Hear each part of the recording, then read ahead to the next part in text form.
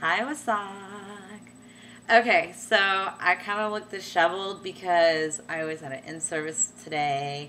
So I'm feeling kind of lazy and tired and trying to procrastinate from what's planning for tomorrow. Anyway, uh, what better way to introduce myself, which y'all already know me. You love me. You know you know you do. My cat's trying to go for my feet right now. Sorry if I freak out. Okay, this is crazy little one Sweeney. He thinks he's a little um, tiger right now. Say hello, little one. Hello, world. Okay.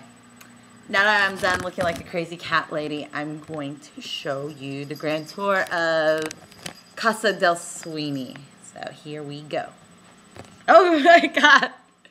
Okay, my cat's gonna be chasing my feet the whole time, so don't freak out if I say, ah! Okay.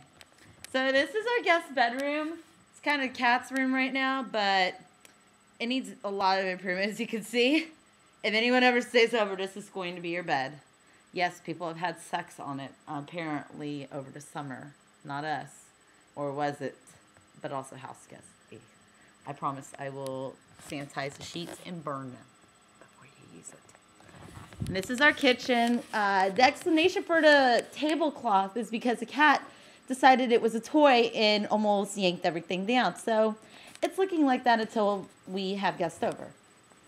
And this is our kitchen. I love to cook in here. I would cook right now, but I'm lazy as fuck, so sorry.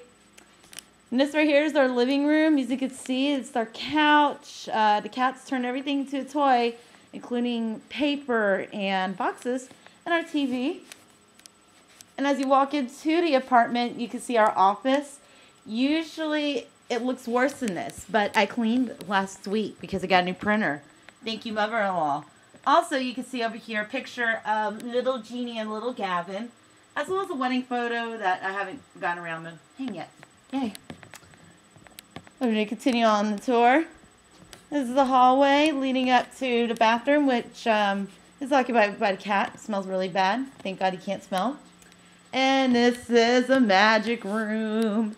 Okay, not really. It's where I crash after uh, lesson plan all day and watch TV.